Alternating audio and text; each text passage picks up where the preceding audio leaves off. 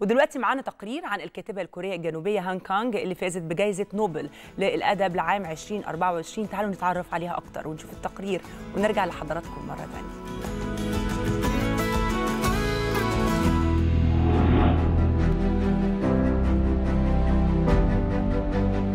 حدث ثقافي هام يترقبه كل الكتاب والمثقفين حول العالم في شهر أكتوبر من كل عام وهو إعلان الأكاديمية السويدية الفائز بجائزة نوبل للأدب.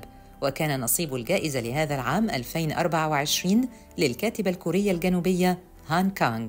ولدت هان كانغ عام 1970 وتنتمي لأسرة أدبية إذ كان والدها روائيا شهيرا. وبدأت مسيرتها الأدبية عام 1993 بنشر عدد من القصائد.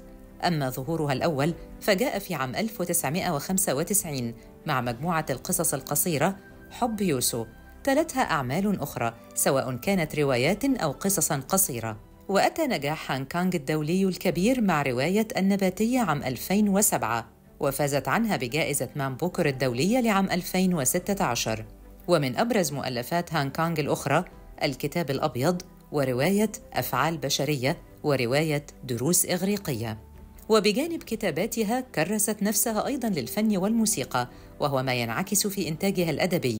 وتعد هان كانغ أول كورية جنوبية وأول امرأة أسيوية تفوز بنوبل للأدب وهي المرأة الثامنة عشر التي تحصل على هذه الجائزة. وكانت الكاتبة السويدية سلمى لاغلوف أول امرأة تفوز بالجائزة عام 1909